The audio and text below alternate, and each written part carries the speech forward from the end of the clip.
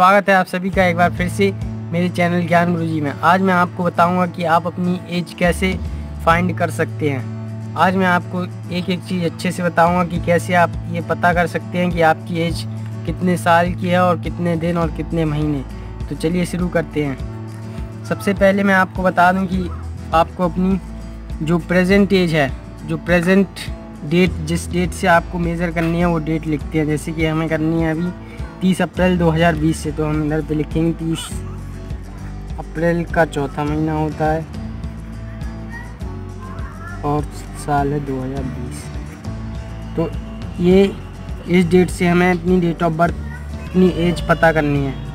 तो पहले इसको उल्टा करके लिखेंगे। ये जो ईयर है, ये पहले आ जाएगा। अब मंथ आ जाएगा। फिर ये डेट और अब जो हमारी डेट ऑफ़ बर्थ है, वो आई यहाँ पर। जैसे कि इधर पे मेरी डेट ऑफ़ बर्थ है।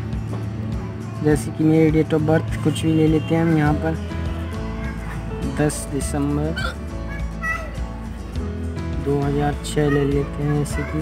तो इसको भी इधर इसी तरह से लिखेंगे। पहले डेट लिखेंगे डेट के नीचे डेट और मंथ के नीचे मंथ लिखेंगे और ईयर के नीचे ईयर लिखेंगे। अब इसमें से इसको माइनस करना है। तो ये तो आराम से माइनस हो जाएगा, तीस में से दस को माइनस करेंगे तो बीस बचेगा। और यहाँ पर दिक्कत होगी, चार में से बारह कैसे माइनस करें? तो इसके लिए आपको इधर से कुछ लेना पड़ेगा, इसमें से कुछ लेना पड़ेगा। तो इसमें से एक नंबर तो ले नहीं सकते, ये तो एक ईयर है तो हम इसमें से पूरा एक साल ले लेंगे। एक साल में होते हैं बारह महीने तो बारह महीने यहाँ पर लेंगे। चार महीने पहले से हैं, बारह इधर से ले लिए। तो इधर पे बारह और चार हो गए। हमारे पास सोलह महीने। तो यहाँ पर हो जाएगा फोर की जगह पर सोलह और 2020 की जगह हो जाएगा एक कम कर देंगे तो बचेगा 2019 अब इसको माइनस करेंगे। 16 में से 12 को माइनस करेंगे तो बचेगा चार। और यहाँ पर नौ में से छः करेंगे, तीन बचेगा और ये यहीं पर आ जाएगा। और इधर ज़ीरो से ज़ीरो, टू में से टू जाएगा तो ज़ीरो बचेगा। तो ये आ गई मेरी एज निकल कर मेरी एज होगी तेरह साल, चार महीने और बीस दिन। ये आ जाएगा वाई एम और डे इसी तरह से आप लोग किसी की भी एज कैलकुलेट कर सकते हैं। इसी तरह से आपको यहाँ पर ध्यान रखना है। अगर इधर से माइनस नहीं होगा तो इधर से लेंगे आप। एक महीना पूरा लेंगे और एक महीने में तीस दिन होते हैं तो तीस दिन आप इसमें तीस ऐड करेंगे उसके बाद माइनस करेंगे।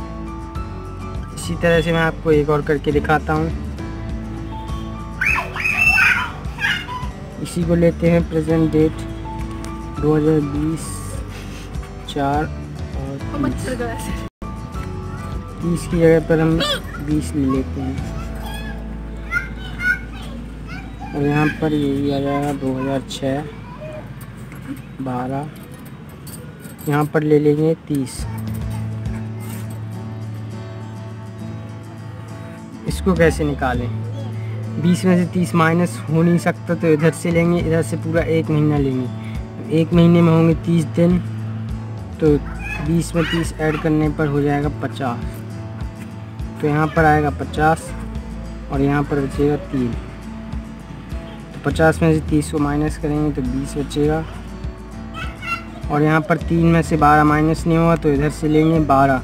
एक साल लेंगे तो यहाँ पर बारह महीने आ जाएँगे तो बारह महीने में तीन ऐड करेंगे तो पंद्रह हो जाएँगे। तो ये तीन कट के इधर आ जाएगा पंद्रह। और इधर से एक साल कम हो गया तो ये बचेगा दो हज़ार उन्नीस। पंद्रह में से बारह को माइनस करेंगे तो तीन बचेगा। और यहाँ पर नौ में से छः को माइनस करेंगे तो तीन बचेगा एक का एक आ जाएगा और इधर ज़ीरो। तो अगर ये वाले डेट ऑफ़ बर्थ लेते हैं तो मेरी एज होगी तेरह साल तीन महीने और बीस दिन।